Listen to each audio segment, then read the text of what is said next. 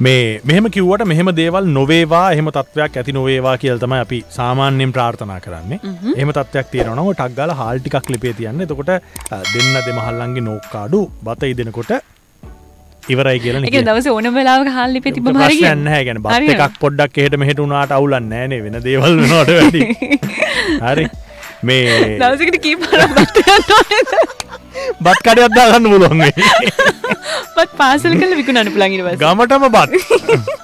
මේ මේ වචනේ හැදුන හැටි කියවනකට මේක පොඩි අවුලක් තියෙනවානි. දැන් මේ වචනේ දික්කසාදන දැන් දික් කියල කියන්නේ සාමාන්‍යයෙන් අපි මේ අවසන් නෝ ඉදිරියටත් තියෙනවා කියන එක ඕනේ නේ ඇත්තන මෙච්චර කාල තේරුන්න නෙචර කාල එහෙම අවධානයක් යබුන්නෑ වචනයට. හැබැයි අපේ රටේ දික්කසාද කියල වෙන්න දෙන්න වෙන්ගෙන වෙන එක. කසාද කෙලබර පන එක කසාදේ දික්වෙන්නෑ දික්වෙන්නෑ කොට වෙනවා. එතරින් ඉවරලා ඔය වචන අපිට ආව මේ පෘතුගීසීන්ගේ. අහ. පෘතුගීසි භාෂාවෙන් විවාහවීමට කියන්නේ කසාඩෝ කියලා.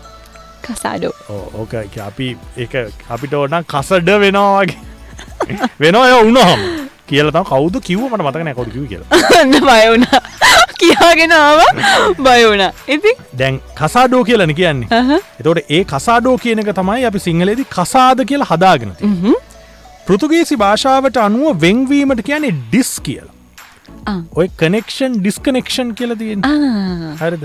එතකොට ඒ ඩිස්කනෙක් වෙනවා කියලා කියන්නේ වෙන් වෙනවා නැතිවෙනවා කියන ඩිස් කසාඩෝ. ඩිස්කසාඩෝ ඔය ඩිස්කසාඩෝ කියන වචනය තමයි අපි සිංහලයේදී දික්කසාද කියලා හදාගෙන තියෙන්නේ. ඩිස් කසාදෝ කියලකැන් ඩිස් කියන්නේ නැති වෙනවා කියන කසාඩෝ කියල කියන්නේ පුතුගිසි ඩිස් කසාඩෝ ඩිස් කසාඩෝ නොවී කසාඩෝම විවී ඉන්න කියල තමයි. එක පාරපුලා ලංකාව. කසාඩෝ වී ඉන්න. කසාඩෝ විවීන්න ගුහමත් කරගත්ත කසාඩෝ එක ඉන්න කරගත්ත කසාඩෝ එක ඉන්න. ඒක තමයි තියෙන ගතිය තියෙන්නේ එක හරි